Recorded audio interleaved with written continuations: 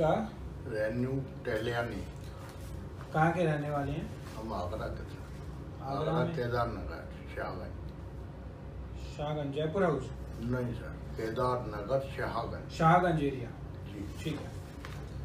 तो जब आए थे क्या क्या तकलीफ़ हो रही थी? काफ़ी तकलीफ़ थी सर। हम्म, आगरा के जितने भी डॉक्टर्स हैं सब बोल रहे थे डाइजेस्ट कराने के लिए। ठीक है।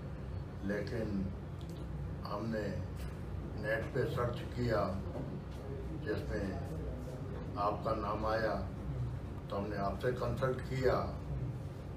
इस टाइम हमारे मरीज़ को काफ़ी फ़ायदा है। पहले चलने फिरने में भी दिक्कत आती थी, लेकिन अभी वो नहीं है। खाने पीने में भी परेशानी होती थी। खाते थे तो पलटी आ जाती थी।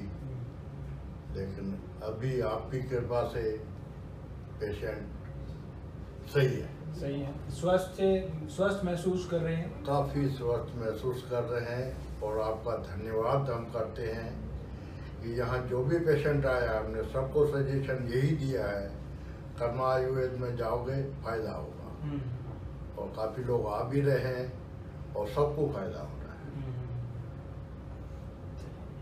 बहुत अच्छी बात है। ये रिपोर्ट इन्होंने कराई है साइंटिफिक पैथोलॉजी तो आगरा की बड़ी है ना? बड़ी है साहब इसका नेट पे ही आता है सब। बहुत पेशेंट आते हैं ना। हाँ।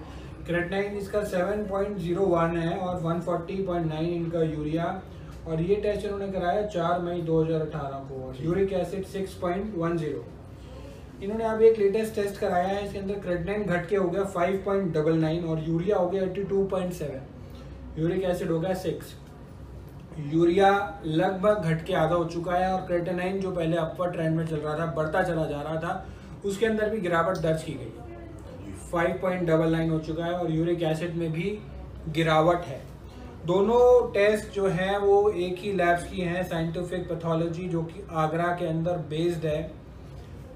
वहाँ से ही इन्होंने अपने आसपास से ही टेस्ट कराए हैं, वहीं से इन्होंने जाँच करा के यहाँ पे दिखाया एक पेशेंट नहीं, एक रिपोर्ट नहीं, सैकड़ों, हज़ारों पेशेंट सैकड़ों, हज़ारों रिपोर्ट्स साइंटिफिक आधार पर किस प्रकार से इम्प्रूवमेंट आ रही है साइंटिफिकली रिपोर्ट्स के आधार पर किस प्रकार से इम्प्रूवमेंट आ रही है, वो हर रिपोर्ट के अंदर सिद्ध होता हुआ कि किस किस प्रकार से किडनी का फ़ंक्शन इम्प्रूव हो रहा है, किस किस प्रकार से creatinine urea G F R improve हो रहा है, और किस प्रकार से किडनी के पेशेंट जो जूझ रहे हैं, समस्या से वो इम्प्रूव कर रहे हैं।